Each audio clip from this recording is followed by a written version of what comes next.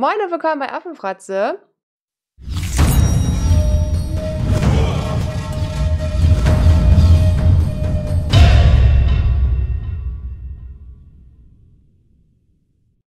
Heute zu Was gibt's Neues in der Affenhöhle? Was ist neu bei uns eingezogen? Das erfahrt ihr jetzt. So sieht's aus. Äh, das ist das zweite Video 2021 und wer möchte von uns anfangen? Ich habe, glaube ich, irgendwie mehr hier Du hast dir alles abgeschmissen. Fang du mal an. Oh, Niederle, was ist denn los? Ein sehr cooles Spiel. Oh yeah. Grab dich frei ist bei uns eingezogen. Hat auch Oh, da wackelt das Kabel. Niederlee, lass das Kabel in Ruhe. Katze. Du. Komm her. Man hört sie nur. Man hört sie nur. Ja, Grab dich frei ist bei uns eingezogen. Auf Gut, das hab ich Deutsch rausgekommen. Ist ab, ja, ist ab 16, 2 bis 6 Personen. 45 Minuten. Ein kleines, schnelles Spiel. Was, äh, das haben wir auch tatsächlich schon gespielt. Das macht Spaß, aber dazu gibt es mehr in Weggebrettert. Wir zeigen euch jetzt nur, äh, was eingezogen ist. Ja, ne? Ja. So hatten wir das Format ja mal angedacht. Genau. Dann schmeiße ich Grab dich frei aus Schnur weg. Dann machen wir direkt hier weiter. Von Rita Model hat es auch endlich King of Ja. 12 bei uns in die Sammlung geschafft. Finally. Da sind wir ein bisschen länger leider drumherum geschlichen. Jetzt ist es aber da und wir freuen uns, dieses wunderbare Stück des Stichspiels Ja. bei uns begrüßen zu dürfen. Es macht Spaß. Also, Sonst eigentlich nicht unser Genre, aber das ist cool. Das Jetzt ist ist da mal gut hier, ne? Musst du deinem Katzenbobo überall reinhalten. Niederlö. Ja, auch schon gespielt, auch schon mit Kindern und mit Erwachsenen und alle fanden es bis jetzt ziemlich cool. Ja, Dennis hat einen Schnapper gemacht. Ich gebe das mal weiter. Und zwar, ah, look at this here. Darf ich das raus- rausstellen? Ja, ne? Das Ja, stand da kannst vorher du. auch. Ein Fest für Odin. Ähm, die Erweiterung plus eine andere Erweiterung, die Inseln oder so. Ja, so Promo, kleine, Genau. Promo-Erweiterungen Und das. die Ernteerweiterung. Also da ist alles drin. Und ja, das war ein ganz, Schnapper. ganz günstig tatsächlich am Brettspiel-Flohmarkt. Weggeschnabuliert. Die Katze ist Bekommen. neugierig. Hör auf zu beißen. Könntest du Jetzt. jetzt mal aufhören? Die ist garstig. Bist du eine garstige Katze? Komm mal her. Komm, komm mal. Komm mal hier. So. Ah, ah, zack. Und runter mit dir. Zwei Menschen, eine Katze. Und wer ist hier überfordert? Genau. Die Menschen. Auf alle Fälle endlich mal ein Fest für Odin. Äh, hatte ich schon länger mal vor zu spielen. Und äh, ich habe ja so ein bisschen. Ich mag Wikinger, ich mag Wikinger-Spiele, ich mag Champions of Midgard, das wisst ihr. Ich mag God of War. Äh, ich habe auch so einen riesen Kratos. Äh, ich weiß gar nicht, wie man diese Flaggen Ja, so ein Banner ist das, ein ne? Banner von Kratos. Äh, geil, also Wikinger finde ich cool. Und deswegen musste das auch irgendwann in die Sammlung kommen. Ich bin da auch immer neu drumherum geschlichen und dann, dann gab es die Norweger, ist ja gerade out of print, kommt aber demnächst wieder raus. Und dann hatte ich dieses Angebot gesehen in der Brettspielgruppe, musste ich mitnehmen. Ein Fest für Odin, Mhm. ein Uwe Rosenberg. Schön mal, müssen uns mal einen Nachmittag hinsetzen. Lisa hat noch ein paar Hörner da, die Vögel Oh sind mäht. Und dann wird ein Fest für Odin weggebolzt. Da wird hier ein Fest gefeuert. Da wird hier Bam. ein Fest gefeiert. Ein Opferfest. oh, oh, okay. Wir opfern die Katze, weil immer ins Bild springt. Hast du gehört, Niederli? Dann gibt es Katzensteaks. Oh ja. Das ist super. Gedunstet. ja, soll ich weiter auf meiner. Ich habe nur noch eins. Ach, du hast nur noch eins. ja, weil du Das dir alles es geschnappt hast. Ja. Aber Ich habe alles okay. irgendwie auf diese Seite gestellt. Dann, ich glaube, weil wir einfach nur unser, unser Unser Mindestbestellwert. Mindestbestellwert beim Wolperdinger äh, fertig haben wollten, weil wir irgendwas haben. Ach, wir wollten Gott, kommt gleich noch. Äh, hatten wir noch eine wundervolle Welt, Korruption und Aufstieg. Ihr wisst, wir haben das Hauptspiel Mhm. Bei der Xmas-Aktion von der Spieloffensive Ja. bekommen. Und ich habe einfach nur gehört, dass diese Erweiterung gut sein soll, die andere nicht so gut. Und dann habe ich mir gedacht, nehmen wir die mit. Gönnen da auch die. alt, da ruft man den Dennis an, ne? Ja, das Und war am so nächsten witzig. Tag ist das Paket Ey, da. das war so also schnell der da. Wolper-Dinger, wenn ihr mal was sucht, Ja. was nicht euer Spielladen vor Ort hat, ruft dort an. Das geht so schnell raus, ne? Also da kann Amazon auch nicht mithalten. Mega schnell. Super guter Service. Wir sind jedes Mal begeistert und bestellen Echt? gerne Mhm. immer da. Super begeistert von Dennis. Also schöne Grüße an Dennis. Jo. Und immer vielen, vielen Dank für diesen Support. Also das so schnell zu schicken. Nimm mal das Buch da. Jetzt nehme ich das Buch da. Okay, noch was ist eingezogen. Ein Klassiker, eine Ein Jubiläumsausgabe. Tatsächlich, ich habe noch nie Wizard gespielt. Ich habe es als Kind, boah, vielleicht drei, vier Mal gespielt. Aber ja, ich kenne es aus meiner Kindheit, aus meinen Kindertagen. Ich muss ehrlich sagen, diese Edition, ein wahres Schätzchen. Das ist so cool, da sind noch äh, Münzen mit bei. Ich weiß echt nicht, ob man die gebrauchen kann, aber sie sehen hübsch aus. das hat mich schon mal überzeugt. Hä, damit, damit du, hältst du deine Punkte. Äh, nee, da hältst du fest, wenn also die, das legst du auf die Karten. ja. Du musst ja angeben, wie viele Stiche du gewinnst und auf die, die du, also wenn du die kriegst, du, Ja. man, man spielt immer mehr Stiche, dann legst du die da drauf, wenn du die gewonnen hast. Ich habe die Regeln schon wieder vergessen. Ich Nee, weiß, du hab hast die jetzt gelesen Regeln vor kurzem. Arbeit, aber Ja. ich wollte euch auch hier, was nämlich auch neu eingezogen ist, Bounce. ist dieses coole Stream Deck. Hier, so sehen die Münzen aus. Oh, Sie sind beautiful. die sind wirklich sehr schön. Also, Fühlen sie auch super gut an, liegen perfekt in der Hand. Ja, und wir stehen auf Münzen. Wer unsere Videos sieht, weiß, sobald es Münzen gibt, da sind wir dabei. da sind wir dabei. Obwohl wir heute auch ein Spiel vorstellen wollen, da habe ich das einfach verpeilt. Ne? Da habe ich das verpeilt, Ja. Münzen zu bestellen. Schade, schade. Naja, aber ja, das zu Wizard und der Jubiläumsedition ziemlich, ziemlich cool. Wir freuen uns, ähm, dass es immer noch so bekannt ist und gern gespielt wird. Und ähm, ich denke mal, bei uns kommt es auch nochmal auf den Tisch die Tage. Ne? Nein, wir müssen dann zu drei Personen sein, das wird gerade schwierig. Ja, ist ja nicht verboten. Nicht verboten, aber schwierig. Ähm, Oh, wir, haben so, wir haben so viel machen, coole Machen neue wir mit dem Klopper hier weiter? Oh mein Gott. Entschuldigung fürs Reinschreien, aber das ist so ein krasses Spiel. Also wir haben, wir sind dem Hype erlegen und haben uns Eclipse, Ja, die Mann. zweite, Gal- das zweite, das zweite galaktische Ja. Zeitalter gekauft. Ich so wollte es erst nicht kaufen, weil das so viele Leute in unserer Umgebung gekauft haben und das ja doch schon mit 150 Euro, 130 Euro, Jo, irgendwie so roundabout liegt das ja, ich weiß es gerade gar nicht. Ähm, irgendwie voll viele haben. Ich bin auch beim Auspöbeln erstmal verzweifelt. Und beim Einräumen auch. Äh, irgendwie eineinhalb Stunden habe ich dafür gebraucht, aber ich habe auch irgendwie nebenbei andere Sachen gemacht. Also Eclipse ist eingezogen. Ich bin auch sehr gespannt, weil ich war ja kein Freund von ähm, Twilight Imperium. 4. Und äh, Lisa hat das schon einmal gespielt und hat gesagt, das wird dir gefallen. Das ist äh, interaktiver, Ja, flotter auf jeden flotter Fall. und äh, konfrontativer. Ja. Was macht sie da schon wieder? Fräulein, ich sehe das, dass du das Kabel ankaust. Auch wenn du unterm Tisch bist. Ja, also Eclipse ist auch eingezogen. Da wollen wir ja nicht lang schnacken. Da Ich fand's wird fett. noch was bei weggebreddert kommen. Ja. Heute zeigen wir immer nur, was eingezogen ist. Und ihr könnt dann durch die Einblendung sehen, für wie viele Spieler, wie viele Zeiten da irgendwie eingeplant werden. Und so, ja. Und so. Dann machen wir mit einem kleinen Kartenspiel weiter. Ich weiß tatsächlich noch nicht mal, um was es da geht. Ich auch nicht. Das Ding heißt Drachensachen von Würmgold ist das rausgekommen. Vom Würmgold Verlag, ja. Lisa hat Brettspiele bestellt. Normal ist es tatsächlich immer so, ich bestelle Spiele. Ja, und die sind auch gut. Und jetzt komme ich kurz zu dem Fakt, warum ich das bestellt habe. Ähm, das gab es nämlich in der Aktion. Die werde ich, ich muss weiter zurück. Also, Noch weiter noch zurück. weiter zurück, bevor es die Aktion gab, gab es den Fakt, dass ich ähm, 1992 ja, geboren, geboren wurde. wurde. Soweit nicht. Wir spulen wieder ein bisschen vor. Ja, 2021. Lisa ist dabei, ein Video zu machen, recherchiert und ähm, ja, ist bei der Recherche auf den Würmgold Verlag getroffen. Und wir haben schon mal einen kleinen Verlag supportet und da alle Spiele eingesackt. Und ja, da gab es halt diese Aktion. Ähm, und da dachte ich so, okay, es gibt das Spiel dazu, zu einem anderen. Das zeigen wir euch auch gleich noch. Deswegen gönne ich mir das mal, weil auch ähm, mir der Autor von dem einen Spiel halt was gesagt hat.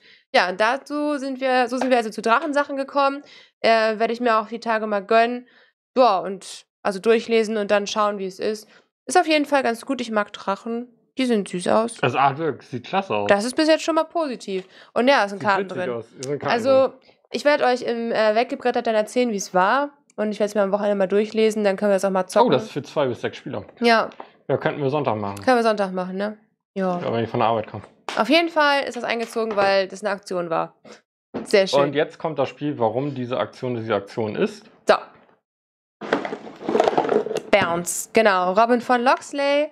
Ähm, ich muss ehrlich sagen, Artwork hm, und so, aber es hat, ähm, ja, ist halt von Uwe Rosenberg und das hat mich ähm, schon angesprochen und ich bin einfach gespannt, wie es ist. Und wie gesagt, mh, bin ich halt auch ein Mensch davon oder ein Mensch, der gerne kleine hm, Verlage supportet so und warum nicht? Wenn es in der Aktion war, wenn es schon ein bisschen günstiger war, dann habe ich gedacht, gönne ich mir das mal. Und ähm, ja, Ja, du spielst aber auch gerne Spiele von Uwe Rosenberg. ja, genau. ja, Ich mal bin da ne? So echt ein diese- Fan Diese, von. diese ganzen Legemechaniken, die er Ja. da so hat, das ist ja, das spielt Lisa einfach gerne. Das kann ich auch verstehen. Ja, Uwe, Uwe Rosenberg, Robin von Loxley, Wettstreit der Diebe ist auch hier eingezogen. Ist auch ein schönes Thema, finde ich. Ja, Robin, wer mag nicht Robin Hood? So. der Sheriff von Nottingham. Ja, gut, der. Aber sonst lieben alle armen Leute ihn, weil die natürlich das, äh, die Knete kriegen. Jetzt kommen wir wieder zu einem Spiel, äh, wo Lisa ein Fable für hat. Lisa hat ja diesen Fable Dinosaurier. Und True. wir wollten das schon bei der Spiel digital kaufen. Hm. Da hätten wir aber Boah, wir hätten irgendwie- 90 Euro für bezahlt oder 100. aber nur wegen dem Versand. Nur wegen dem Versand. Ja. Also wir hätten mehr Versand als äh, für das Spiel bezahlt. Genau. Und die Rede ist hier God's Love Dinosaur. Das, Dinosaurs. das haben wir auch vom Wolpertinger. Das war der Grund, warum wir das andere bestellt haben. Bester Mann, immer noch. Da war wirklich der, der das erste Mal welche bekommen. Da konnten wir nach zwei Stunden haben versucht anzurufen, waren die schon weg. Jetzt haben wir zum Glück mal eins bekommen. Ähm, ich habe keinen Plan von dem Spiel, es sind aber coole, coole Holzmiepel drin. Ich habe es noch nicht gespielt, es ist alles auf Englisch. Das heißt, das Ja. wird englische Spiele. Das ist Also ich hab's schon meine, gespielt. Meine. Die Anleitung ist übelst simpel. Ich habe nur eine Frage noch, da muss ich mal ein bisschen recherchieren, was das mit dem komischen Vulkan auf sich hat, weil das checke ich nicht ganz. Aber sonst macht es super, super viel Spaß. Es ist halt so ein bisschen Nahrungskettenspiel. Ähm, auch Plättchenlegespiel, weil du legst halt dein, oder beziehungsweise nicht Plättchenlegespiel, aber du baust halt dein Spielbrett aus. Das nennt sich mobilares, Mo Mobi, mobiles Spielebrett, gelöt. Naja, auf jeden Fall wird dein Spielfeld halt immer größer. Modulares. Modulares, genau, das habe ich ich gesucht. wollte gerade sagen, von was redest du denn da? Ja, genau, Mobil modulares. ist jedes Spiel. Ja, ich Kannst meine du modulares. Und es ist halt das Beste, es gibt Dinosaurier und die fressen andere Sachen und es gibt Baby-Eier und so. Es ist einfach richtig cute. Cute. Und es gibt kleine Babyhäschen. Also ob sie Babys sind, weiß Mal ich nicht. gucken, ob aber ich Nina- Niederlese und ein paar Miepel zum Fraß vorwerfen kann. Ja, Und Gott, dann kommt der Dinosaurier und frisst dich, Niederli. God's Love Dinosaurs ist ein super nettes Spielchen. Ich denke auch für Familien gut geeignet und ähm, ja, freue mich, dass wir das auf jeden Fall hier haben. Und die Überschrift auch gut ist Strategy Game of Food Chain Hierarchy. Hierarchie. Ja. Correct. Wie wird das auf Englisch ausgesprochen? Äh, Ich habe im Englisch viel gefehlt. he, he, ich weiß es auch nicht. Archie, Hi- Hira- Hi- Hirashi? Hierarchy. Oh, und alle sitzen da und denken sich, ah, die beiden reden die da? Idioten da. Also, Kauft euch mal einen Englischkurs, bitte. ja, guck mal, jetzt habe ich den Stuhl frei gemacht und dann sitzt du auf dem Ja. Stuhl. Putz dich mal jetzt ordentlich. Ja, dann kommen wir auch. Hast du noch mehr da außer das? Ja, das habe ich hier noch. Und mehr nicht. Das habe ich hier noch. Wir haben, sind so ein bisschen in den Maximum Apokalypse Aber nur äh, minimal. Rausch gekommen und haben uns dafür dann auch zwei Matten bestellt, weil wir das halt eben auch nur zu zweit Die spielen. stinken Hier doch so hart, ey. Ah, hier. Ich mag den Geruch. Äh, Du magst den? Ja. Du bist ja nicht kosten bist 20 ja nicht Euro normal. das Stück. Äh, die Lieferung, da habe ich mich super drüber geärgert. Die waren einfach in den Karton so reingeschmissen. Da war dann noch Mm. so, weil wir noch was anderes mitbestellt hatten, so Fusselpappe dabei, ne, um das andere Spiel zu schützen. Aber das ganze Rotz hing dann hier auf dieser Neoprenmatte unten. Das hast du kaum abgekriegt, hat super genervt. Hm. Und ich weiß auch nicht, ob man Matten einfach irgendwie reinschmeißen sollte, um die zu versenden. Kenn ich auch Da nicht ist so. definitiv, naja, Spieleoffensive. Schau dir, was die mit den Champions Midgards-Matten Ja, gemacht haben. Die haben sie geknickt. Das war furchtbar. Also da ist die Liebe zum Spiel ist da irgendwie nicht mehr vorhanden. Mhm. Wenn ich sowas sehe, da kriege ich immer ein bisschen zu viel. Ja, also die Matten sind eingezogen und dazu sind, ist noch die kleine Erweiterung prähistorische Gefahren eingezogen. Ich weiß gar nicht, ob ich die jetzt hier habe. Und grausige Schrecken, die Mm. Deluxe-Erweiterung. Ähm, ja, Alles schon weggeräumt. die prähistorischen auch hier. Aber das, wie ihr seht, ist alles leer, weil wir die Legendary Box hier haben. Und da ist alles drin. Hier ist die grausige Schreckenerweiterung und ja. Äh, Jetzt fehlt nur noch eine Erweiterung und dann Kaiju haben wir tatsächlich so? Kai, ja genau und dann Kaiju. haben wir alles und dann müssen wir jetzt mal weiter zocken. Wir sind da noch nicht ganz so weit gekommen Letztes Mal war leider. eine Katastrophe, ey. Ja, letztes Mal. Oh, da haben wir uns auch. Wir haben auch Wir haben so so gegönnt. viel Pech gehabt. So viel Pech kann man eigentlich Wir sind fast vor Verhungern gewesen. Und also wir, man schaltet ja auf so ein Plättchen und man muss dann eine Mission erfüllen und auf andere Plättchen gehen und sowas, um das zu schaffen. Wir sind von so einem einen Startplättchen fünf Runden oder so teilweise nicht runtergekommen und sind auch fast am Bus verhungert. Das ist echt heftig gewesen, die eine Das Runde. also Dennis würfelt Sechsen, zack, Dennis würfelt zack, Sechsen. Zombie, Zombie, Dann ist Zombie, Dennis Zombie, fertig mit Zombie, Sechsen Zombie, würfeln, dann würfel Zombie. ich die Sechsen. Ja, war, Das war heftig. blöde Runden. Ja, dann kommen wir zum letzten Dann, okay. Spiel, was hier neu eingezogen ist. Und das Schönste. Bam! Oh, es ist so schwer. Und Gott. da haben wir wieder ein Vita Lercerda. Äh, Lisboa ist eingezogen. Wie ihr ja vielleicht aus den anderen Videos wisst, ist äh, Portugal, da ist ja so ein bisschen meine zweite Heimat durch meine Mutter. Ein schönes Land, schöne Städte, schlechte Politik. Aber darum geht es in diesem Spiel, Politik tatsächlich. Also da äh,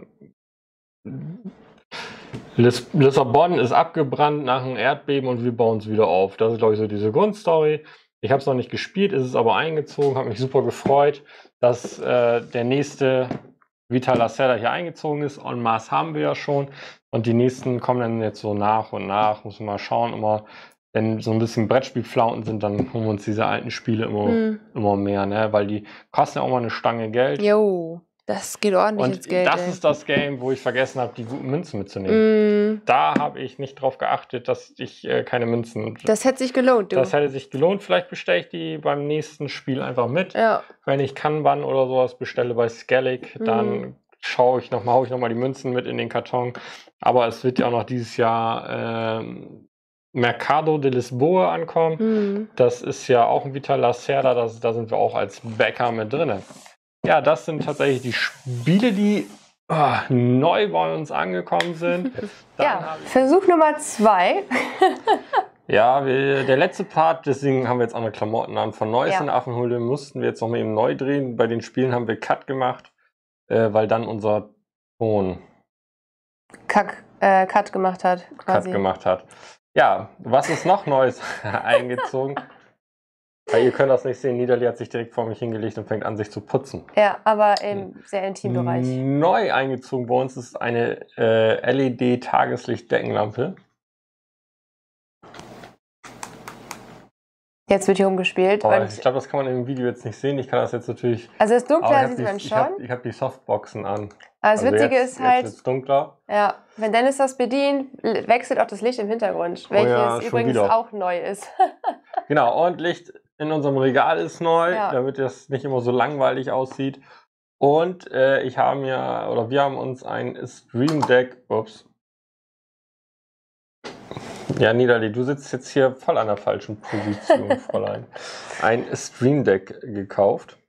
Also ob das nicht damit spielen möchte. Oh, das sieht verführerisch aus. Da, nein, damit, damit muss ich dann nicht mehr ähm, mit der Maus das alles bedienen und da hinten den Monitor und kleine Augen machen, sondern kann das jetzt einfach hier per Tastendruck machen. Ich klappe den nochmal ein, dann könnt ihr den eventuell gleich von oben sehen. Genau, das ist hier dieses kleine Gerät. Kann auch ein bisschen hier zum Zoomen. Genau, damit ihr auch die Karten nachher gut sehen könnt und so vielleicht. Äh, Und dann sind wir wieder da. Ja. Ich kann Aufnahme starten, ich kann Clips abspielen. Ich glaube, ich habe aber gar keinen Clip hinterlegt. Ja, vor allem so. ist das halt ziemlich cool, weil wir wollen ja auch ab und zu äh, streamen. Ähm, und da hat Dennis auch irgendwie Ne. ein paar coole Ideen. Und man kann sich auch so anhören wie so ein ähm, Darsteller, ne? Ja, genau, man kann natürlich Schau- auch Schausteller. Voice, Schausteller? Voice, Wie, ja. wie der Typ von der Krämermarksbude. ja, genau. Also wir können jetzt witzige Sachen da machen und Dennis ist ganz froh über sein neues Spielzeug. Jetzt brauche ich nur noch Zeit, dass. Äh, oh, da ist schon wieder das Ding. Da leuchten die Augen. brauche ich nur wieder Zeit, das mal alles vernünftig einzurichten und dann geht das los. Ja, das sind auf alle Fälle die Gadgets, die hier noch eingezogen sind, neben den Brettspielen, die wir euch zeigen wollten. Diese neue Tageslichtlampe, die ist ganz cool. Dieses Augen haben ja so einige Probleme und damit, Niederlee, damit kann sie ähm, spielen, ohne dass ich hier die Softboxen die ganze Ja. Zeit anhaben muss, die natürlich voll die Hitze produzieren hier drin in dem kleinen Raum. Oh ja. Ähm, das hat schon mal einen ganz großen Vorteil. Vorher hing da eine ganz normale Lampe, die war leider nicht so hell. Jetzt haben wir die da hängen und das mit den Augen ist besser. Ja, es ist einfach angenehmer. Ne? Die, die Softboxen sind ultra hell, was super gut ist. Dadurch kann ich leichter das besser alles sehen und so und auch besser lesen. Und ja, wenn es halt so ein dunkles Licht ist, dann äh, ja, ist sehr anstrengend für mich. Ähm, genau, aber ja, das haben wir jetzt alles ein bisschen aufgerüstet. Einen neuen Tisch gibt es noch, also übergangsweise. Und ähm, Genau, bis wir Geld haben für einen Brettspieltisch in drei, vier Jahren, fünf, sechs, sieben und das ist nein. das nächste große Projekt, was gespart wird. Vergesst alles andere, was wichtig ist, äh, was wie ein Haus oder vielleicht mal irgendwann heiraten oder so. Das ganze Geld kommt weg und für den Tisch gespart. Letztens schon ein paar, äh, gestern schon ein paar Anbieter abgeklappert und muss dir sagen, keiner von denen hatte standardmäßig unsere, Unsere Mattengröße, unsere Mattengröße. Ja, dann die ist sowieso Die Tische vorbei. sind alle kleiner. ja, dann ist Da sowieso brauchen wir eine vorbei. Sonderanfertigung. Oh Gott. Ja, tschüss. Ja, das können wir uns nicht leisten. Alles, was wir uns jemals Ja. leisten wollten. Jetzt fehlt natürlich auch noch der letzte Teil, den, ihr, äh, den wir das auch schon gedreht haben, aber ich mache es jetzt nochmal ganz gerne. Wenn euch das Video gefallen hat, lasst ein Abo da, lasst ein Like da, lasst uns einen Kommentar da. Was ist Neues bei euch eingezogen? Habt ihr vielleicht auch euren Spielraum, Brettspielraum, Brettspielzimmer, wie ihr das Genau. nennt? Der Sven vom Brettballett nennt es ja sein Man Cave. ja, Ähm, habt ihr da, wenn ihr da auch irgendwie was dran verändert, das interessiert uns auch immer ganz äh, gerne. Auf jeden Fall. ähm, Und dann könnt ihr die Fotos zum Beispiel auch total gerne auf unseren Discord äh, posten. Ja, da könnt ihr euch nochmal mehr austauschen, da könnt ihr eure coolen Spielezimmer reinstellen und ähm, ja, mal so zeigen, was ihr so habt zu Hause. Und könnt auch direkt mit uns schreiben. Genau. Nur, glaube ich, mit Lisa nicht. Die ist immer da, äh, was das angeht. Ich, hast du überhaupt dein Discord-Passwort noch? Ja, ich bin auch angemeldet auf Discord. Ich wollte heute eigentlich Guten Morgen schreiben, aber da war Dennis schon euch zuvor gekommen und da dachte ich so, ja, dann hat er jetzt schon Guten Morgen geschrieben, brauche ich das nicht machen. Sie kann auch Guten Morgen schreiben. Aber ihr, ihr merkt, ne, das ist so eine, was Social Media angeht, ist die totale Diskrepanz. Also, Ja, ich bin schon froh, wenn ich ab und zu meinen YouTube-Kommentar sehe und das relativ zügig beantworten kann oder auf Instagram, wenn ich mich darum kümmere oder so. Ähm, ja, die Frau hat Zeit. ja. Aber Dennis lässt mir auch immer den Haushalt hier übrig. Das heißt, da habe ich auch meinen Spaß dran. Also alles cool. Ähm, so hat jeder seins, ne? Und ähm, ja, da würde ich sagen, Dennis, deine letzten berühmten Worte. Oder wolltest du noch was sagen?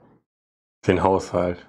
Das bisschen Haushalt macht dich von allein. Manchmal lässt er mir Sachen mal. hier einfach liegen mit Absicht, weil er dann sagt, ja, dann hast du nicht so viel Langeweile, wenn du zu Hause bist. also, ey. ja, das stimmt. Das Großer, dicker Mittelfinger für dich in dein Gesicht, ey. ja, so. Ich bin auch immer nur kurz da. Also habe ich auch immer nur kurz Zeit, Sachen dazulassen. Mhm. So. Je nachdem, wann ihr das Video gesehen habt, wünsche ich euch eine gute Nacht, einen wunderschönen Morgen, einen relaxten Mittag, einen kuchenreichen Nachmittag und wir sehen uns. Bis dann. Ciao. Jetzt kann ich dieses nicht mehr machen, weil ich meine Maus nicht mehr habe. Muss ich